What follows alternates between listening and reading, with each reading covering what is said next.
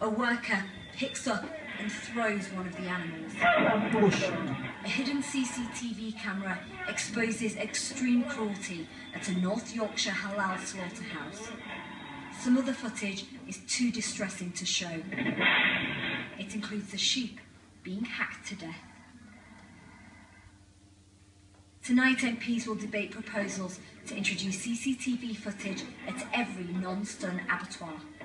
It's not something that is very expensive or burdensome, but actually uh, could uh, end a lot of unnecessary suffering and abuse of livestock uh, in the food uh, production process.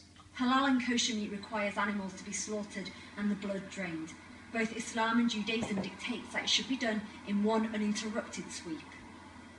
Islam has absolutely clear guidelines uh, about treating animals within a slaughterhouse or outside a slaughterhouse, and that is to be kind and merciful to them and respecting uh, their care and not to cause pain or suffering to the animals unnecessarily.